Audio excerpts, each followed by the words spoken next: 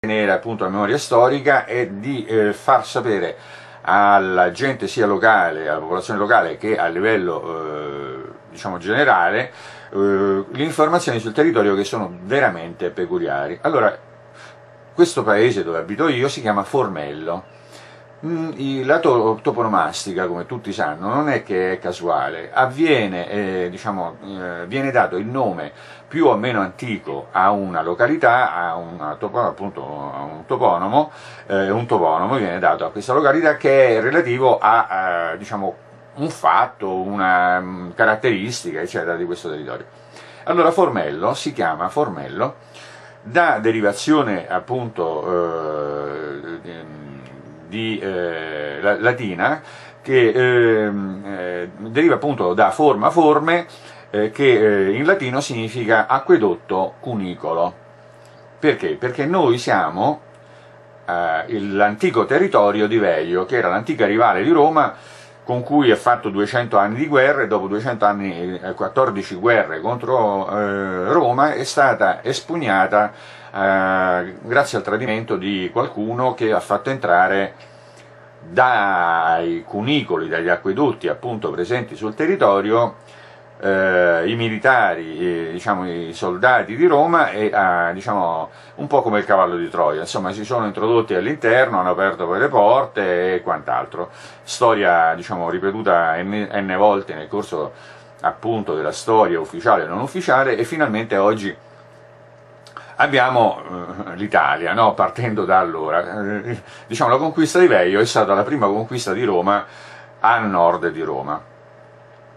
Eh, e da lì eh, poi l'ingrandimento, perché era diciamo, l'alter ego di Roma, era eh, diciamo, quello che oscurava la possibile espansione di Roma. La, fatta la conquista è partita l'espansione di Roma. Quindi questo territorio ha un'importanza storica importantissima, ma soprattutto ha un'importanza archeologica importantissima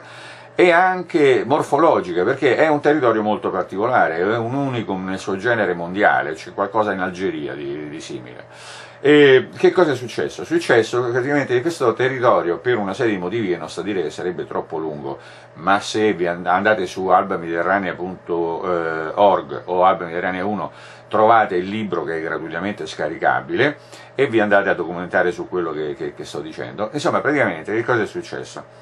Che Formello è una groviera, cioè è un territorio di circa 40 km quadrati,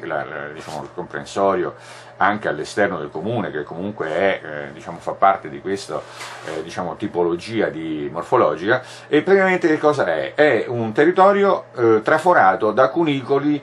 eh, di varia dimensione, diciamo, di sezione, mm, anche di forma leggermente diversa, eh, che eh, serviva appunto questo reticolo di eh, cunicoli a drenare eh, l'acqua piovana per un certo periodo storico o addirittura poi successivamente per portare l'acqua nelle campagne, una cosa eccezionale, è, un, è un'impresa epica, mm, tipo le piramidi, insomma, una cosa del genere, cioè eh, 40, io appunto ho, sondato personalmente, ispezionato personalmente circa 40 km di eh, acquedotti etruschi sotterranei, tuttora più o meno eh, diciamo, diciamo, parzialmente visitabili e parzialmente agibili perché poi nel corso dei secoli, sia per la manu, diciamo, manomissione umana e sia per diciamo, il tracollo eh, normale delle, dei manufatti, eh, sono crollati o diciamo, sono stati in qualche modo resi eh, diciamo, inoperativi. Però buona parte di questi cunicoli tuttora funge da eh, canali di scolo eh, per molte zone del territorio. E eh, allora è, arriviamo al motivo di, di questo eh, eh, lungo excursus. Allora, eh, a eh, Formello eh, dunque Formello nel corso degli anni, degli ultimi 30 anni come io anche, eh, molti cittadini di Roma, eh, stufi del traffico, del caos, della confusione di Roma, stanno piano piano facendo il reflusso eh, contrario appunto a quello degli anni 50 dell'inurbamento no? e, e diciamo, a, diciamo, addensamento demografico nelle città. Piano piano tanti, quelli che possono ovviamente, stanno riandando nelle campagne e cosa diciamo, più facile è nel territorio dei comuni eh, diciamo, limitrofi a Roma. E Formello è uno dei comuni eh, proprio eh, confinanti col comune di Roma. E quindi è stato per tanti anni una sorta di dormitorio di Roma dove la gente veniva, ha finito il lavoro perché ovviamente qui non ce n'era, eh, lavorava a Roma e tornava qua. E questo è successo fino a qualche anno fa. Poi fortunatamente eh, con una buona iniziativa diciamo,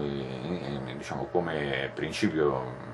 basilare, è stato diciamo, adottato un piano regolatore e anche prima un piano di espansione e lottizzazione della zona industriale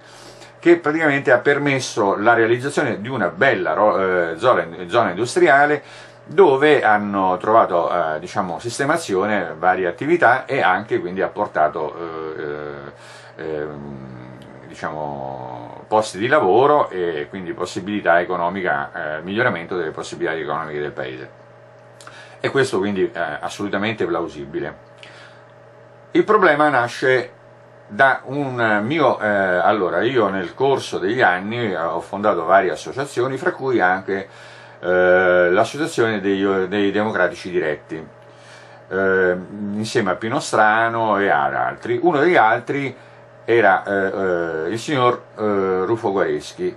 Eh, questo signor Rufo Guareschi aveva un'idea, mm, diciamo, eh, fissa, una specie di, di eh, ossessione, no? voleva realizzare e poi mi raccontò, perché quando ci siamo poi conosciuti meglio frequentandoci, mi, mi, mi domandò dove io abitavo, gli dissi che abitavo a Formello e lui disse che a Formello eh, era proprietario di un terreno, di un lotto di terreno di circa 9 ettari, se mi ricordo bene.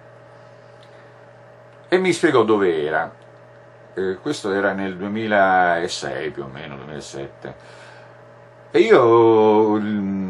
lì per lì non seppi da, diciamo, identificare bene la cosa, eh, poi successivamente in una seconda occasione, curiosa, così per curiosità, andai a vedere dove era questo terreno e mi resi conto della cosa, eh, diciamo, eh, che la sua eh, ossessione di Rufo Guareschi era veramente poco eh, fungibile. E quindi glielo dissi, abbiamo parlato varie volte, dice guarda, quel progetto che hai in mente non si può fare perché lì tu dove c'hai il terreno, sotto il tuo terreno, cosa che lui non sapeva, gli disse appunto tu c'hai ben tre cunicoli etruschi varianti fra i 2500 e i 2700 anni di antichità e lì onestamente, fra l'altro, visto che nel 97 è stato costituito il nucleo centrale della zona A del parco di Veio dove esistono ben sette vincoli eh, di ogni genere eh, da eh, diciamo, tutelare o, gli dissi eh, ho l'impressione che tu lì non ci potrai fare niente. E lui disse no perché eh, la, io ho già parlato con eh, i responsabili del comune di Formello e sono tutti abbastanza propensi, si tratta solo di risolvere alcuni problemi eccetera eccetera per cui eh, diciamo la, la, la, cosa po', magari richiedere un po' di tempo ma si farà. E io gli ho confermato i miei dubbi perché appunto sapevo quello che eh, erano i limiti mh, posti su quel territorio. Allora torniamo ai giorni nostri Vado quindi a contattare questi miei compagni della lista civica che si presenta alle elezioni del sindaco attuali e, e questi signori mi dicono alcune cose e mi dicono fra l'altra cosa, fra l'altro che eh, a, il 14 febbraio, giorno di San Valentino di quest'anno, si era svolta un'assemblea del Consiglio Comunale in cui era stato approvato un piano eh, di eh, lottizzazione, di ampliamento della zona industriale e una, eh, la, la, la di un uh, uh, contratto di convenzione con una, una società che si chiama, diciamo definita così in, in estrema sintesi, Polo dell'Eurovisivo europeo. Anche lì per lì non ho collegato le cose perché erano passati 4 o 5 anni, ma poi eh, per, per, una serie di indizi che insomma, percepiti qua e là nel giro di qualche giorno mi è eh, diciamo così all'improvviso parso chiaro quello che adesso vi racconto cioè praticamente il signor eh, mio amico eh, che eh, mi aveva detto che stava diciamo, progettando quella, quella sua idea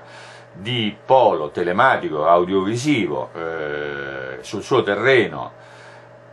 posto al centro della zona A del parco di Veio, sopra i cunicoli, i tre cunicoli etruschi,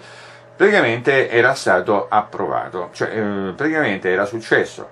che il 14 febbraio di quest'anno il Comune di Formello ha approvato il contratto di convenzione. Eh, al che ho detto, vabbè, andiamo a vedere che cosa è successo, per come sono riusciti a modificare e a, a diciamo, stiracchiare in qualche modo la possibilità eh, diciamo, legale eh, di poter fare una cosa del genere. E quindi sono andato a prendermi i documenti eh, che adesso vi faccio vedere. Ecco qua.